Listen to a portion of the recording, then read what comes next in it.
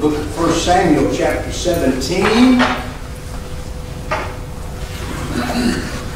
Appreciate your prayers. Yesterday, a pretty good day with my throat. Today, it's not doing so good. But uh, this is just a test, and God is able.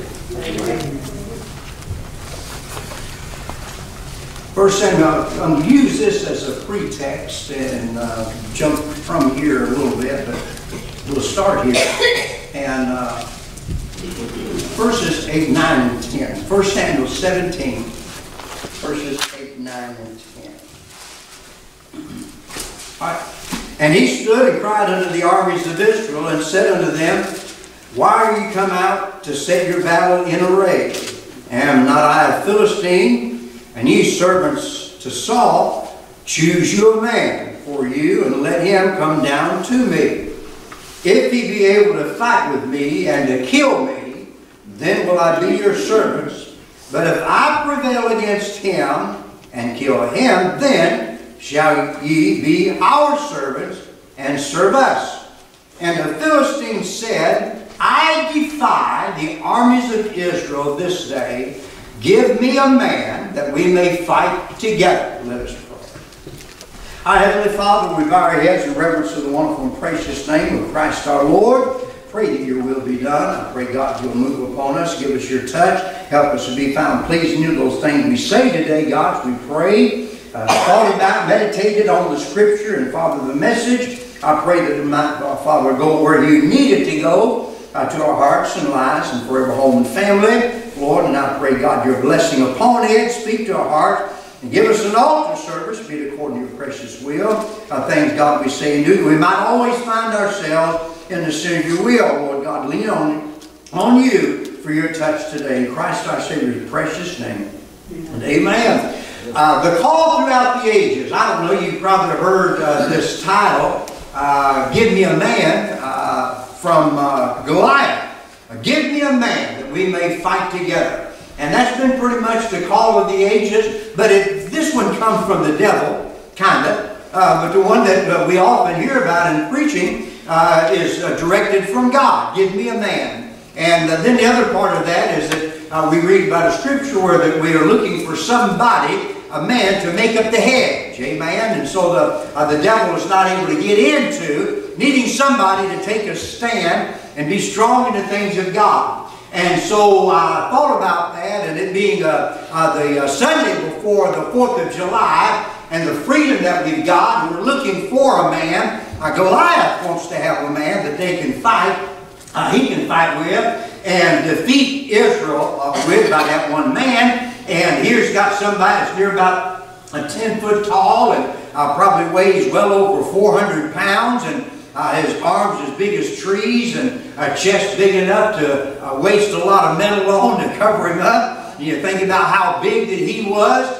and then he's looking down at the army of Israel and probably Saul, as we read in Scripture, was probably head and shoulders above most people. Uh, certainly we're not going to send out the king uh, to do the battle, and Saul, and Goliath was looking out and he sees all these people out there, and probably nobody near as big as he was. And so he said, Yeah, I'll fight your man. Bring him to me. I want us to look a little closer at a couple of these scriptures uh, for a pretext and get a little bit out of them uh, before we move on.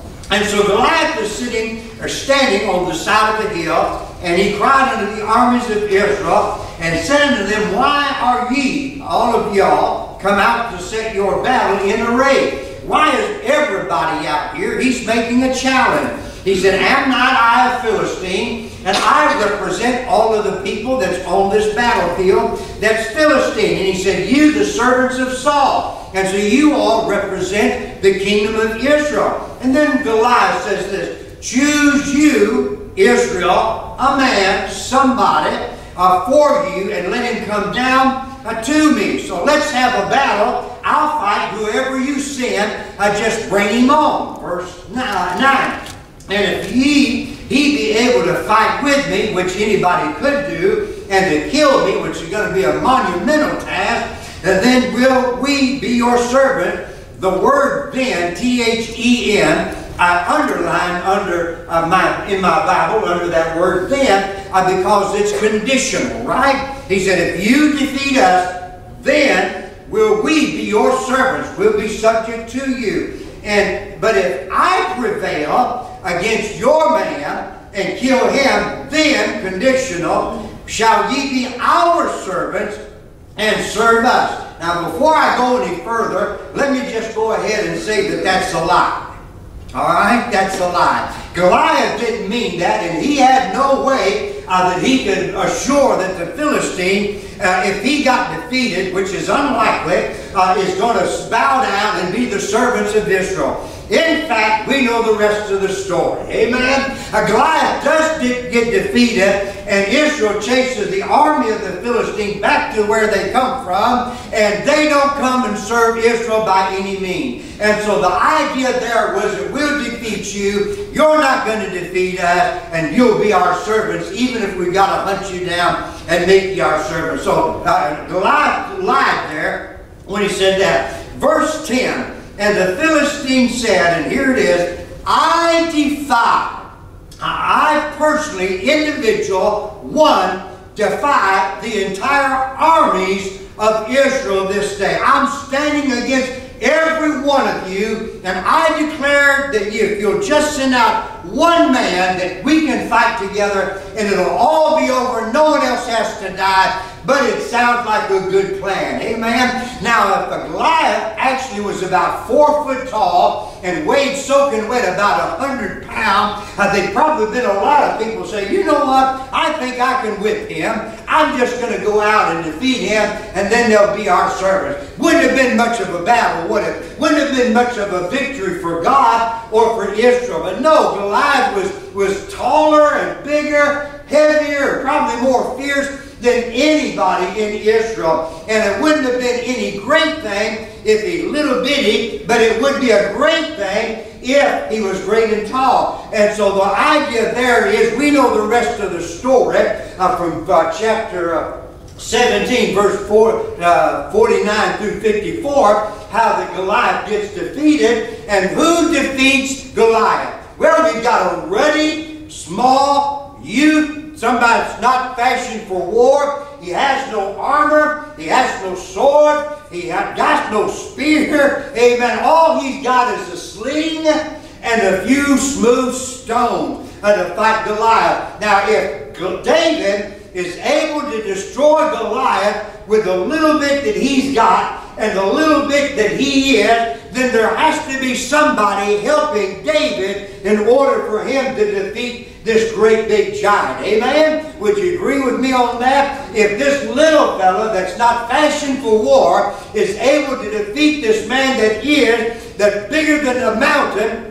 with his little bit of weaponry that he's got, no armor, just a sling and stone, then there's got to be somebody on his side. David said, you come against me with a sling, uh, Goliath said, sling and a sword. I come against you, David said, in the name of the Lord. And so he's got somebody uh, that's bigger than Goliath. He's got somebody uh, that's bigger than the Philistine army. He's got somebody uh, that's bigger than the nation of Israel, bigger than Asia, bigger than Europe, bigger than America, bigger than the United States of America, bigger than the universe. He's got God on his side.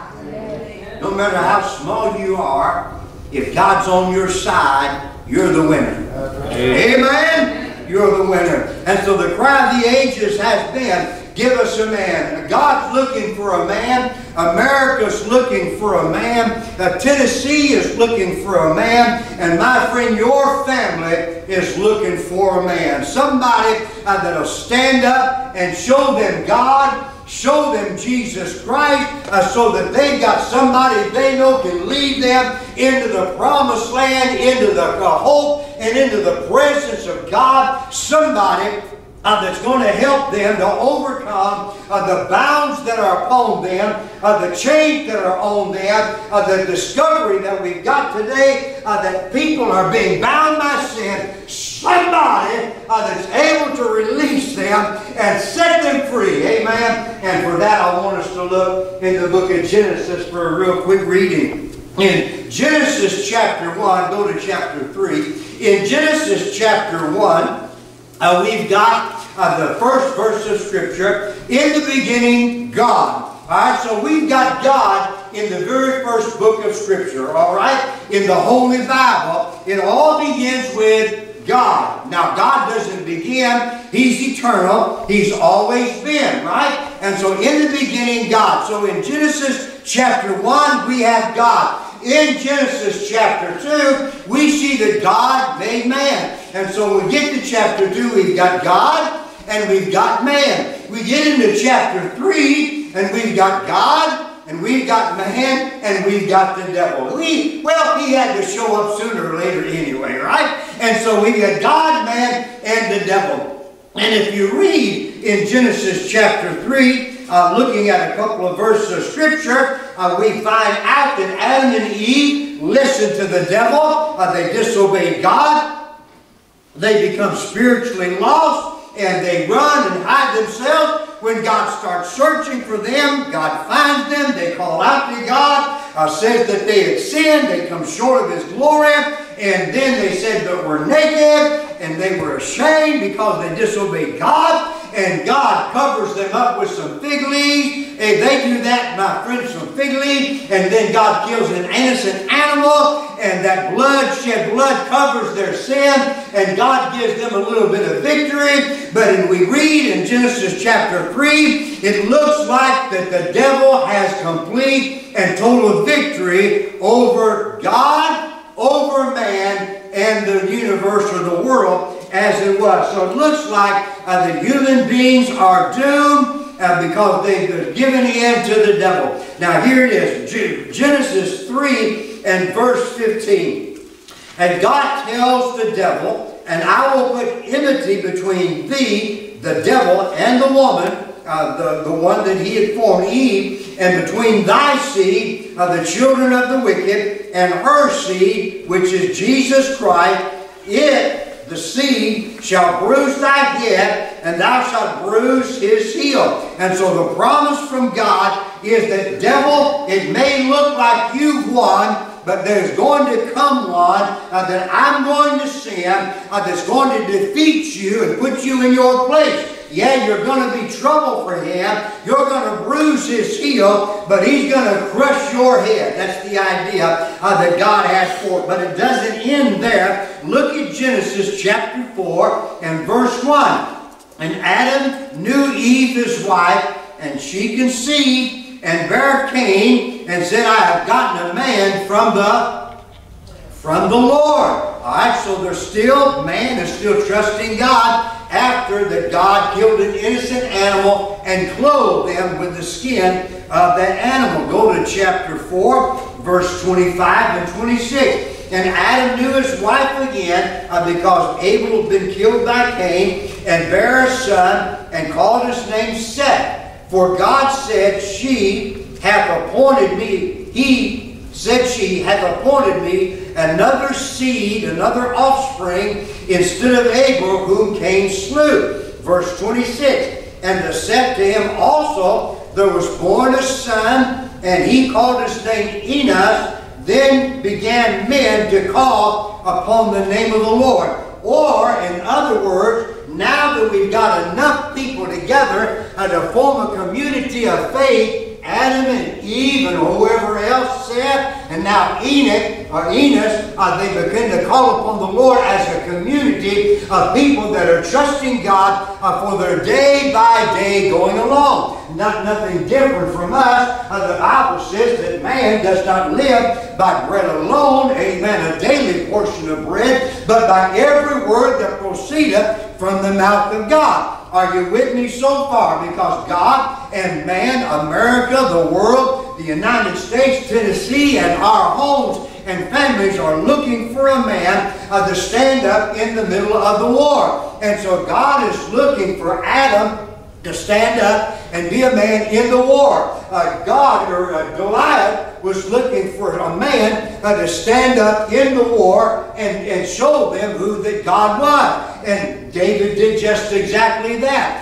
And so we look around today in our country, we look in the Bible, and it's been the call of the ages uh, that God is looking for a man uh, that will stand up and be the leader uh, that God knows we need in our country, in the other countries, in our state, our states, and in uh, the, our, our homes, and in our families. God's looking for someone. Men, it's time. Uh, women, it's time uh, for us to take our God-given responsibility and place uh, to stand up and be identified as children of God and to stop letting the devil defeat us on every hand that we take. Now, you may lose a battle from time to time, but by the help and power of God, you don't have to lose the war. Amen? Uh, because what we're looking at, uh, this battle between Goliath and David was not just a physical battle, it was that, but it was also a spiritual battle. Uh, when Goliath said,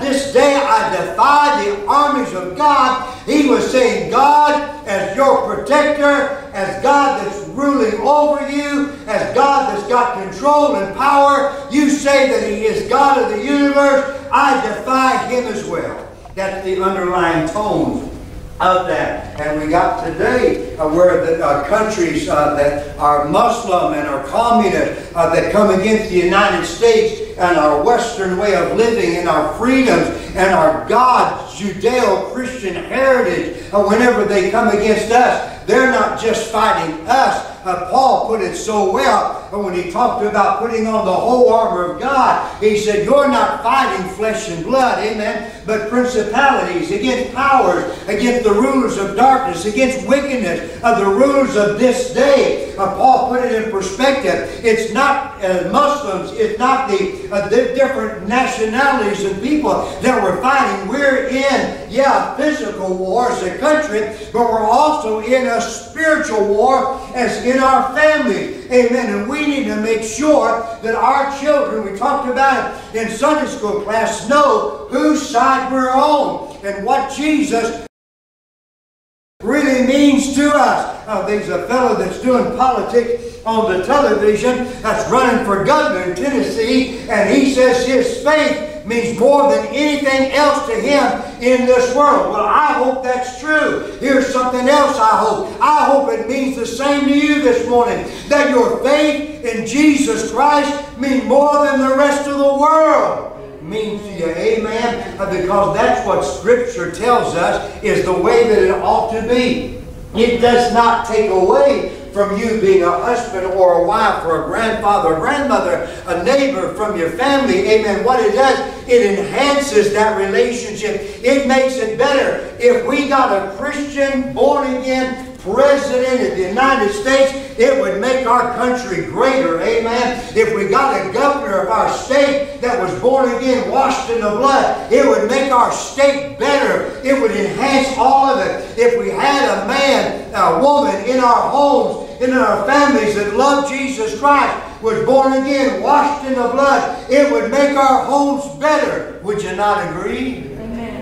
Amen. So being a Christian just enhances everything that it atta uh, attaches itself to. It's kind of like what Jesus said, ye are the salt of the earth. And so salt does what? It preserves, it enhances, it flavors, amen, all the thing uh, that salt does. As a Christian, whatever your responsibility is, president, governor, uh, family man, whatever it is, it makes whatever you're attached to greater.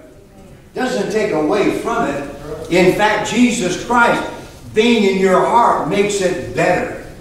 Amen? It makes it better. It makes it a better world. I think about West. We live in our country, the United States of America. Uh, the more Christians there are, the better everyone is off. Amen. And I believe that this morning. If the more Christians there are in the United States, the better well off everybody in the United States is. Uh, but the more sinners there are, uh, the more lost people there are, and all of the things that are the world that come with them, the worse America is. Amen. The worse our families are. Uh, if our family and our church and our state are all going down, then we need to expect it to have the flavor and the glory of Christ upon it because it's going away from Jesus. But when it is enhanced by God and Jesus Christ by righteousness and the blood by sanctification and justification, it is better this morning. Amen. Far better than what it would be in other ordinary circumstances. So in Genesis chapter 3, remember that God said that the woman's seed would prevail, would overcome uh, the devil's seed. Now think about Moses. When, uh, real quickly, not going to do a whole lot of reading past this point. but I think about Moses and uh, the man of the season, the man for the time, uh, whenever that it was that God said, I want to lead my children out. And Brother Gary talked about the great I am, uh, Moses by the burning bush in the backside of the desert by the mountain there. Uh, Moses was saw a bush burning went to that bush to behold it, and he saw the bush that was on fire, but it wasn't being consumed. And God spoke to Moses outside of the bush and told him he wanted to go to Egypt and let my people go. And then Moses said, Who shall I say sent thee? And then God said, You tell them that I am hath sent thee. Amen. Uh, the one God that is God. Amen. Uh, that's kind of a short way to put it. The one God that is God. Amen. With all the false gods of Egypt, you tell Moses the one God that there is, a real God has sent you to let my people go. And Moses did exactly that. Moses and Aaron went to Pharaoh and all the story that goes with that. Went to the Hebrew people. Finally, they were able to be released. They got out and away from there and they had a man at that particular time that was going to lead them out of bondage into the freedom uh, that God has to enjoy for everybody uh, that comes to Him. Secondly, I think about those four boys in Babylon Shadrach, Meshach, Abednego, and Daniel. Amen. Uh, they didn't bend, they didn't bow, and they didn't burn. Amen. Uh, Daniel said, We're not going to eat your dainty meat. Uh, they wouldn't eat the meat that was provided them as they were being promoted to wise men in Babylon because it was offered to what? False gods. And they said, We'll not partake of that meat. You just give us some vegetables and we'll be happy, we'll be better, we'll be smarter, we'll be fatter, we'll be more Amen. We'll be better than all the rest of them that eat that old meat sacrificed to idols. When they got done down to it, but they examined them. They were brighter and smarter uh, than the others were, and they looked fairer in their flesh than the others did. Where's the reason why they were smarter? And because they knew God. Let me go ahead and tell you this right off. If you know Jesus Christ, you're smarter than the rest of the world. Amen. Amen. Now the world may not like that, but it's the truth. Amen. And if you know Jesus Christ, amen, you're fairer than the rest of the world. You're smarter than the rest of the world. It doesn't mean that you're a smart aleck. Some people may think I am, but it, here's the point. If God is on your side, if you love Jesus Christ as He's in your heart and life, He's able to give you wisdom that the world doesn't have. In the book of John, chapter 14. I'm going to go away, and when I go away, I'll send you another comforter, and he will guide you into all truth and righteousness. And Jesus said, If I go away, I'm going to send him, and when I go away, greater things shall ye do, because the Holy Spirit has come into the church. And when a person gets born again, they get filled with the knowledge and person of the Holy Spirit. Amen. So that makes them smarter and makes them able more. Now, I can't still uh, add uh, real quickly a thousand plus a hundred billion, twenty million, two hundred and seven. Amen. Uh, that, that's not what we're talking about. uh, but that's smarter in the things of God. Uh, God is able to bring intelligence and wisdom to our heart and mind at the time that we needed. Amen. Uh, being in bondage in Egypt, being set free, uh, Daniel being in uh, Babylon, and him being able to be free in that kind of a society. I want you to think about that for just a moment. We live in one of the greatest countries in the world that has ever been. In fact, we have more privileges of freedom. We have more rights, amen, even though a lot of them are being stripped away from us and uh, they're not as free as they once were. We still live in the greatest country uh, that's ever been in the world. Amen. And so, yeah, God has blessed the United States of America. It was established on the freedom of religion and of principles uh, that we are all ordained by God to, with a free will to make up our choice as to who we're going to serve, what we're going to do. Amen. God has blessed the human beings uh, with knowledge enough to decide to choose right and wrong. Uh, the Bible said, choose life that you may live.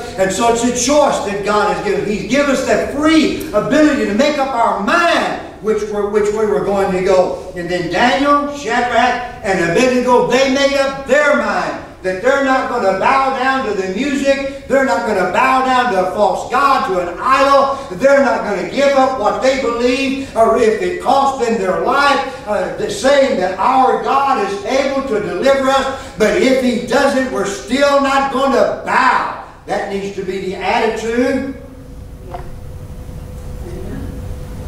of every born again Christian. We're not going to give in to the devil. Daniel, Shadrach, and Abednego, they showed them God. They showed them a God that was able. Amen. Same thing in Jesus Christ. Again, John chapter 14, uh, Jesus said, If you've seen me, you've seen the Father. Amen. I do believe that Jesus was the express image of God. God being a spirit, Jesus being able to be in physical form. So that when we look at Jesus, we understand who the Father is. Amen. And so the idea there is that, yeah, Moses, Daniel, Shadrach, Meshach, Abednego, they showed them God, they showed them Jesus, and they were the men for the particular time that God needed them to be. Needs us to be today. Amen. And so when we go into the New Testament, uh, the one uh, that's going to bruise the head of Satan and, and crush him and defeat him. Uh, think about in the book of Acts, chapter 7, how that Stephen, when he's being stoned, he saw Jesus standing on the right hand side of God the Father. He saw the seed, amen, uh, that was there. Paul on the road to Damascus, and he struck down, or struck blind, falls off of his beast and hits the ground, and Jesus appears to him, and Paul sees the seed on the road to Damascus, amen. Uh, the John tells us in the book of Revelation uh, that he is in the Spirit on the Lord's day and the seed appears to him in a vision and tells him things that's going to happen, things that's going to come to pass. And John sees and understands by vision the seed of God. We go back now to the book of Genesis chapter 15 and we remember what God told him, uh, told Eve and told Adam and told the devil uh, that there's going to come a person, an individual, the seed of the woman. It shall bruise thy head, you shall bruise his heel, the seed heel. Amen. Oh, remember the Goliath and the Philistines. They're not no more. They didn't bow down and they didn't become subject to and servants of Israel.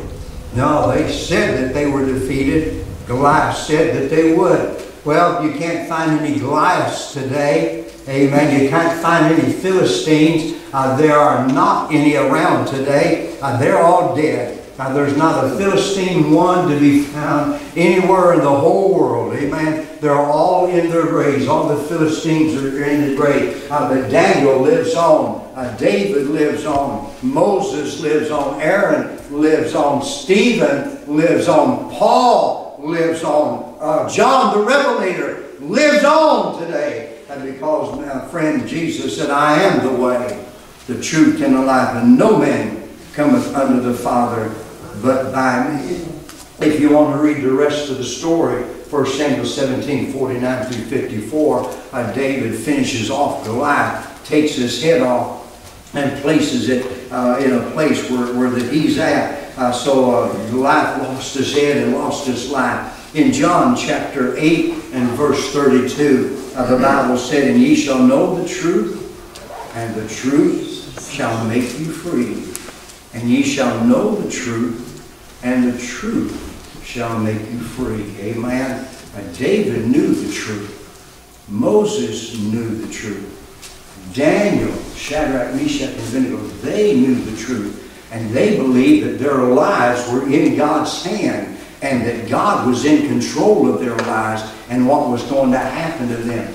Would to God today that people would believe that God's in control. Amen. Even though in times it looks like everything's out of control, it's not out of control. God knows what's going on. Before God said, let there be light, He already knew what today would hold for me.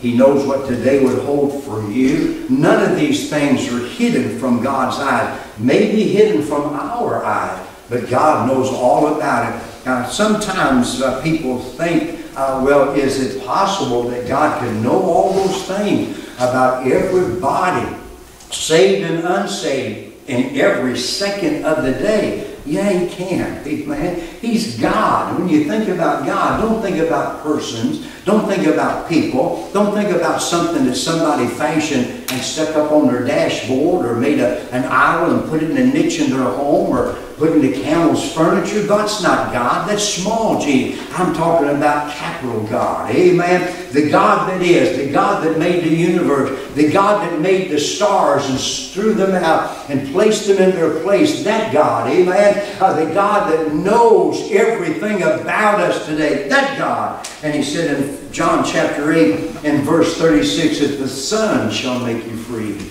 you shall be free indeed. What's it mean to be free indeed?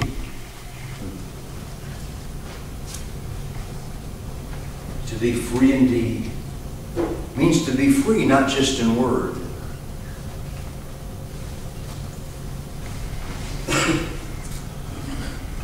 the Pharisees and the Sadducees in John chapter 8. I said, we were never in bondage to any man. We're free. We're the children of Abraham.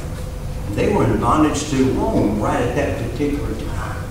They'd been in bondage to Egypt. They'd been in bondage to Assyria. They'd been in bondage to Babylon. They were in bondage to Greece.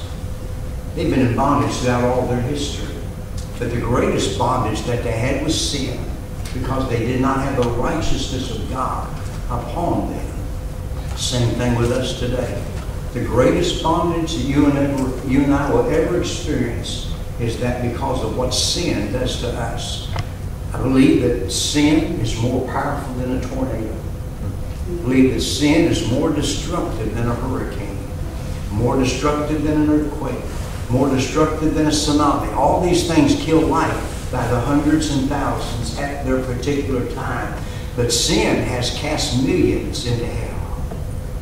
Sin has destroyed homes and families and governments and nations sin is the greatest force that we ever need to think about and have control over us. But it's Jesus Christ that's able to break that bondage of sin. America uh, needs a man. Tennessee needs a man. But it doesn't need to stop there. Our homes and our families need a man uh, that's rooted in the Word of God settled on the promises in the Bible, fashioned in righteousness after the Word of God. A man that's bold enough and strong enough and, and knows enough about who he is in Christ to not be ashamed. The song talked about it. I appreciate the Statue of Liberty.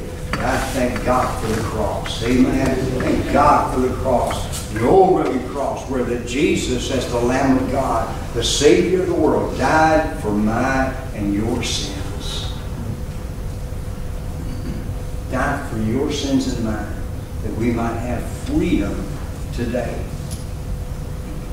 Those Jews that got saved in Jesus' time and after he was killed, buried, rose, and ascended, those Jews, even still in bondage to Rome, were set free indeed. Not just in word, but in deed. Their spirits were set free. Their souls were set free. How's your soul? And how's your spirit today? Have you been set free from the bondage of sin? He's able. Have you been dealing with something, controlled by something? Has it kind of got you bound? And sometimes you feel like you're overcome by it, by something. We've got somebody that's more powerful than anything. Your face, amen. As we stand. In the petition number. Page three seventy-five.